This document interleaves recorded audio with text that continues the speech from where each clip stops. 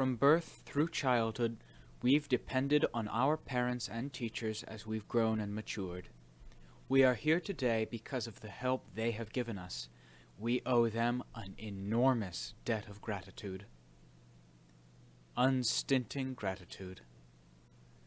Ajaan Maha Boowa and his disciples remained around Ban Hui Sai village, living and practicing in the area for several more years. Through her special knowledge, Mae Chee Kaew was constantly aware of their whereabouts. Their comings and goings never eluded her awareness. In 1953, after the rains retreat had finished, Ajaan Maha Boowa witnessed a prophetic vision in his meditation.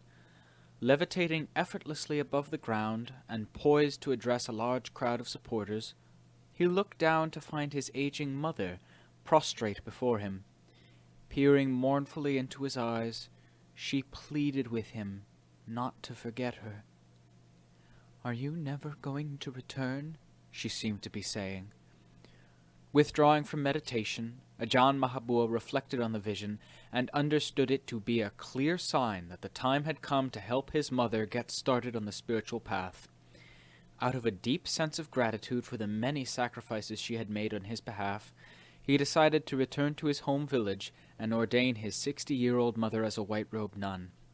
He wished to give her the best possible opportunity for spiritual development during her remaining years.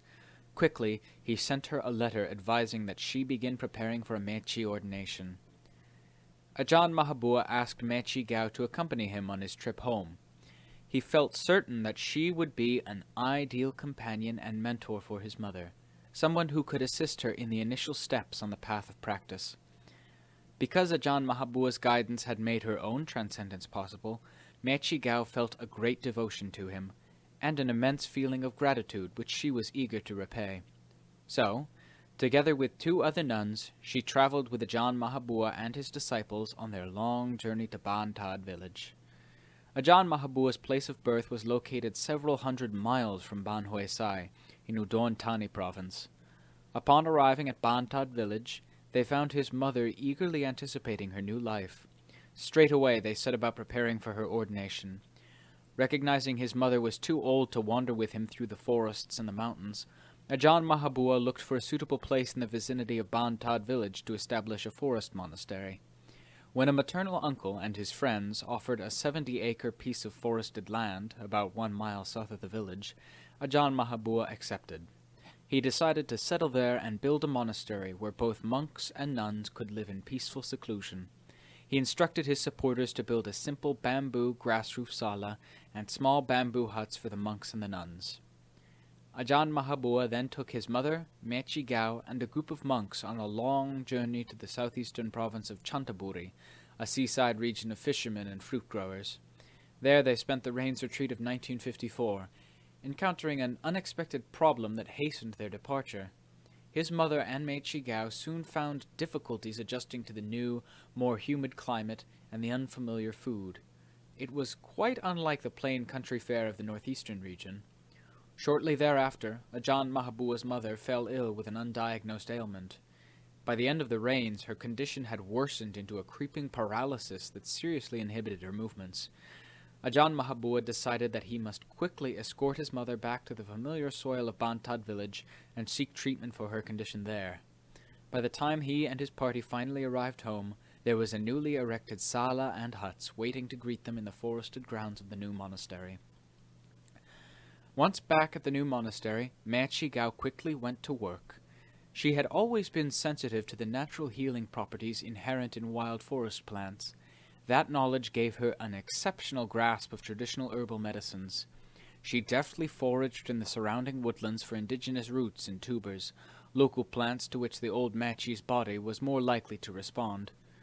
Using these to good effect, Mae Chee Kaew began treating Ajaan Maha Boowa's ailing mother. Carefully adjusting the proportions of the medicinal herbs to fit her patient's changing condition and symptoms, she nursed her teacher's mother with dedication.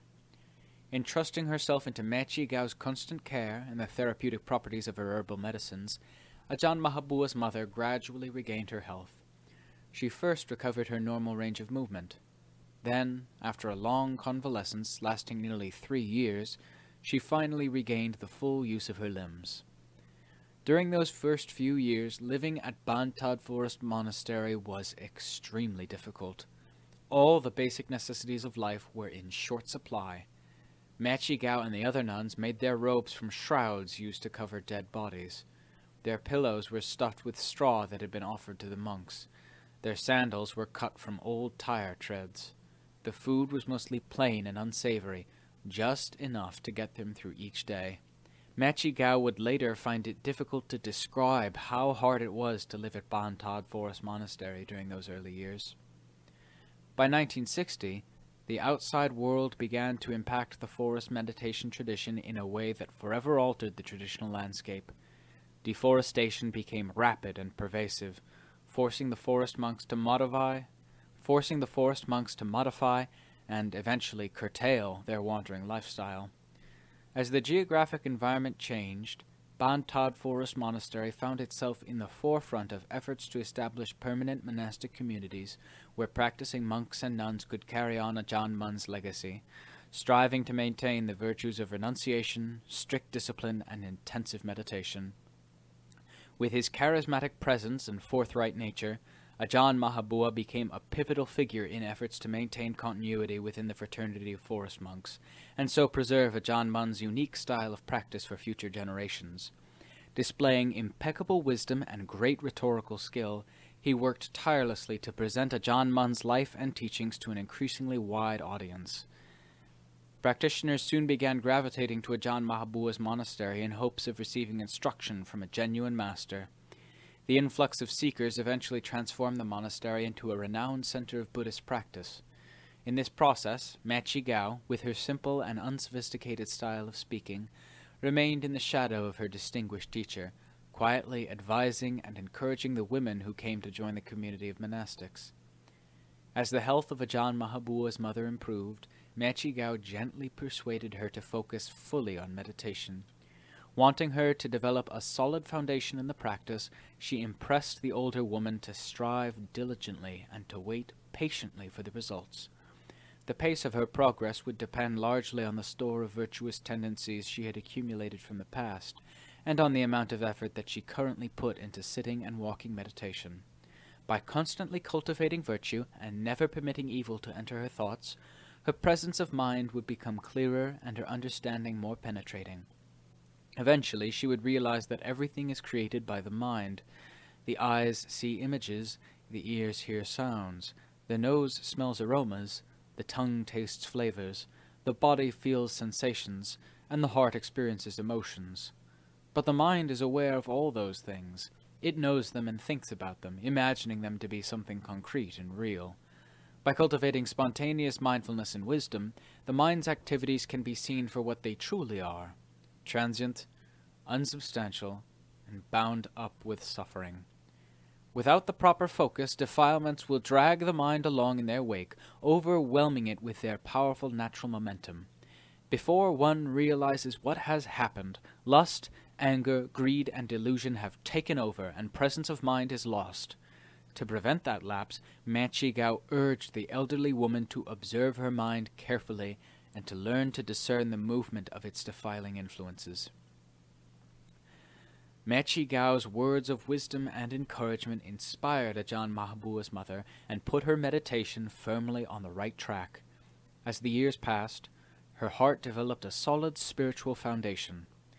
By the time Mae Chee Kaew departed from Bantad Forest Monastery in 1967, she had succeeded in placing the elderly Mechi squarely on the Buddha's noble path.